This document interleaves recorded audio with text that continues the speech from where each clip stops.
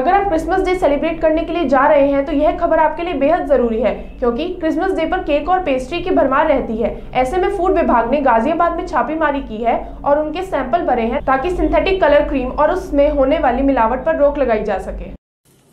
Sir Christmas day नज़दीक है और चॉकलेट पेस्ट्री मार्केट में खूब बिक रही है, क्योंकि चॉकलेट और पेस्ट्री का ही ये त्योहार होता है। फ़ूड विभाग की तरफ़ से कुछ कार्रवाई की गई थी चॉकलेट और पेस्ट्री और केक के को लेकर क्या थी पूरी कार्रवाई?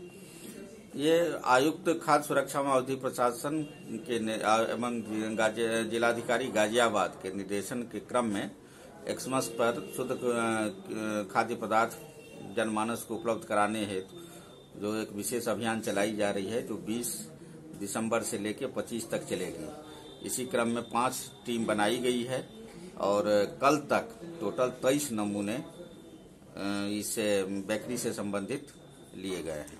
किस किस चीज़ के नमूने लेके गए सर? जैसे कि केक के लिए गए हैं पेस्ट्रीज के लिए गए हैं और फैक्ट्रियों में भी छापे मारी गई और वहाँ जो रॉ मटेरियल मिला उसका रॉ मटेरियल का नमूना लिया गया।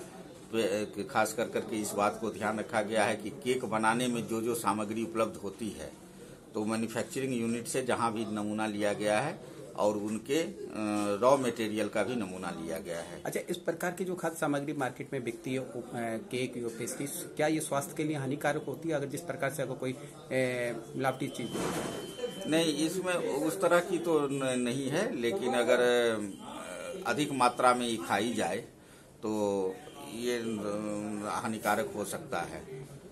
हैं? क्योंकि इसमें जो है और ये एक्ट के हिसाब से भी परमिटेड है। रिफाइंड क्रीम लगाई जाती है। जो रिफाइंड क्रीम थोड़ी मात्रा में तक तो ठीक है लेकिन अधिक मात्रा में खाने से उसका नुकसान होगा। इसकी कभी कोई शिकायत मिली है कि इस प्रकार से पेस्ट्री और केक बर्थडे केक जो होते हैं ये मार्केट में बिक रहे हैं? नहीं इस तरह की कोई शिकायत तो आई नहीं है। हम लोग अपने इसे इसको ध्यान में रखते हुए क्रिसमस के और मुख्य इसके आयुक्त के निर्देशन के क्रम में ये सब काम कर रहे हैं। आगे भी कार्रवाई जारी रहेगी? और हाँ पच्चीस तक चले गए और जहाँ से भी कहीं से कुछ शिकायत मिलती है उस पर तत्काल जो हम लोग ध्यान देते हैं।